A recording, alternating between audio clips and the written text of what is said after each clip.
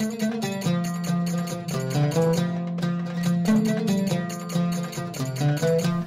everyone, it's Mao from Sparkly Belly.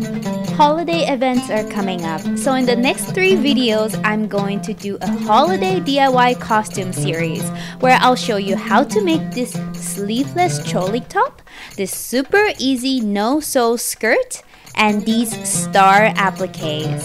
You'll be ready for holiday hafla. In this video, we'll make this sleeveless choli top. A choli top is one of the most requested costume pieces to do a tutorial for and I finally made one.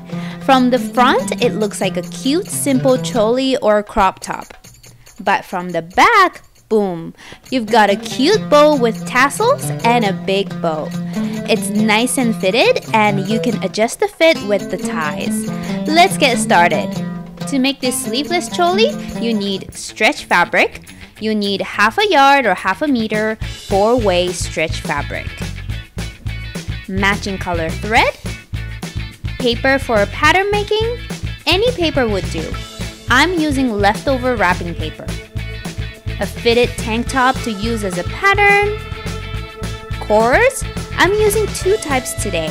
One for making tassels, 6 meters of it, and the other one for creating ties, one and a half meters. First, fold your tank top in half lengthwise and place it along the straight edge of your pattern paper and simply trace along the outline of the tank top.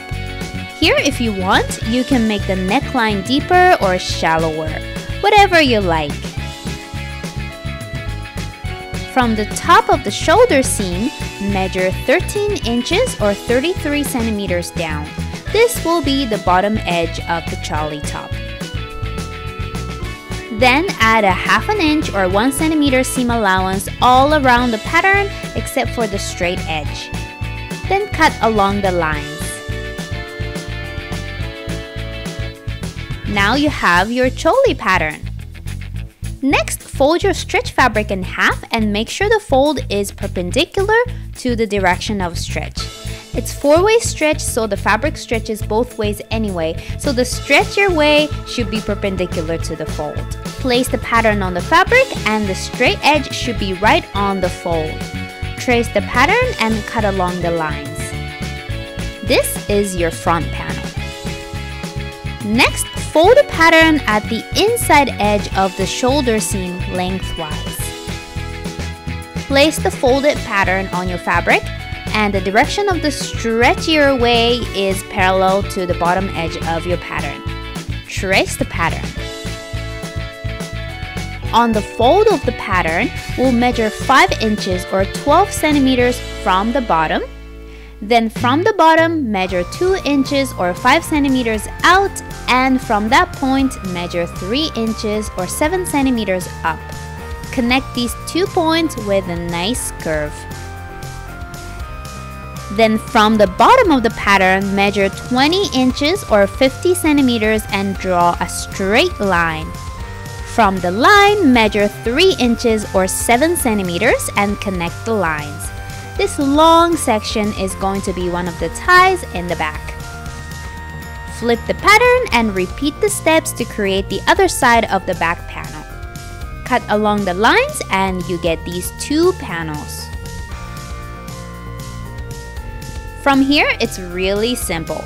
Place the front panel and back panels right size together and sew together the shoulder seams and the side seams with a zigzag stitch or any other stretch stitch you like. Then fold in all raw edges half an inch or 1 centimeter towards the wrong side like this. You can fold even the curved sections like the neckline and armholes and do a zigzag stitch all the way around and your choli top looks like this. Here's what it looks like from the outside and inside. Next, take your cord for ties and cut it into two pieces that are 20 inches or 50 centimeters long. Put these pieces aside and keep the leftover piece separately. Take your cord for tassels and use half of it to make your first tassel. For this one, I simply wrap the cord around my fingers. Take one of the 20 inch cords and put it under all the tassel cord and make sure it doesn't fall apart. Take it off your hand and make a tight knot. Then take the leftover cord and wrap it around the tassel cord a couple of times and make a knot. Take scissors and cut all the loops and you get a cute tassel. Repeat the steps to make another one. I applied a drop of fabric glue to each knot so the knots won't unravel later. Take the end of the cord with a tassel and place it at 1 inch or 2.5 centimeters from the shoulder seam on the back and simply sew it there. Do the same for the other side. And that's it! It's nice and simple, so it's great for practice wear or performance costume. You can adjust the neckline to show your decorated bra from the inside. I just love the two bows at the back and the way they fly as you move is so cute.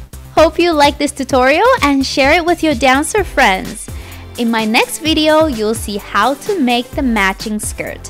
Believe it or not, it's a no-sew project. Sign up for the Sparkly Belly newsletter so you won't miss it. Thanks for watching and keep sparkling.